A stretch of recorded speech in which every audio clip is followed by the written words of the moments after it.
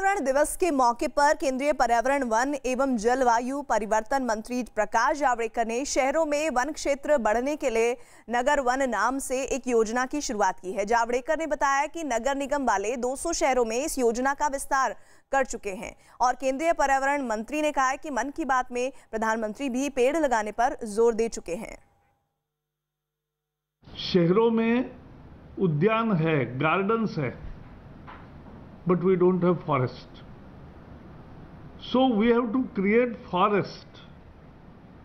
And we have decided today to launch our Nagarvan program, urban forest program in 200 corporation cities of India. BJP के राष्ट्रीय अध्यक्ष JP Nadda ने भी विश्व पर्यावरण दिवस के मौके पर अपने घर पर पौधारोपण किया। इसके अलावा अल्पसंख्यक मामलों के केंद्रीय मंत्री मुख्तार अब्बास नकवी ने भी अपने आवास पर पौधारोपण किया। इस मौके पर दोनों का संदेश एक ही था, पर्यावरण की रक्षा और पृथ्वी की सुरक्षा।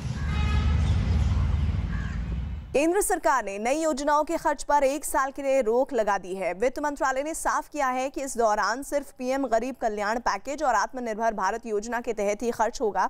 वित्त मंत्रालय के मुताबिक बजट में घोषित नई योजनाएँ भी फ़िलहाल नहीं शुरू की जाएँगी। तो वित्त मंत्रालय ने आदेश जारी किया है। आप समझ सकते हैं कि कोरोना काल चल रहा है और वाकई में जो अर्थव्यवस्था की रफ्तार है, वो बहुत नाजुक दौर से गुजर रही है और ऐसे में ये फैसला लिया गया है वित्त मंत्रालय की तरफ़ से। केंद्र सरकार ने नई योजनाओं के खर्च पर एक साल के लिए रोक लगाई है। वित्त मंत्रालय ने साफ़ ये स्पष्ट बोला है कि इस दौरान सिर्फ़ पीएम गरीब कल्याण और पैकेज, साथ ही साथ आत्मनिर्भर भारत योजना के तहत ही खर्च होगा। वित्त मंत्रालय के मुताबिक बजट में घोषित जो नई योजनाएँ हैं, फ़िलहाल शुरू नहीं की जाएँगी। तो कोरोना संकट के दौर में जो ज़रूरी है सिर्फ़ वही होगा। जैसा हम ये समझते आए हैं कि अगर आपको कोरोना में घर से बाहर निकलना ज़रूरी है, तभी निकलिएगा।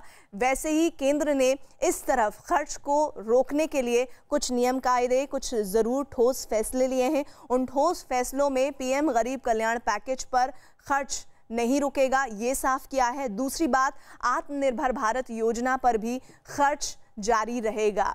यानी लोकल ही वोकल होगा। इसको लगातार प्रयासरत करते हुए मजबूती से आगे बढ़ाया जाएगा। और ये इस लिहाज से ज़रूरी है कि भारत में लोगों को रोज़गार मिले और उस रोज़गार में पूरी तरह से वित्त मंत्रालय की भूमिका रहे, सकारात्मक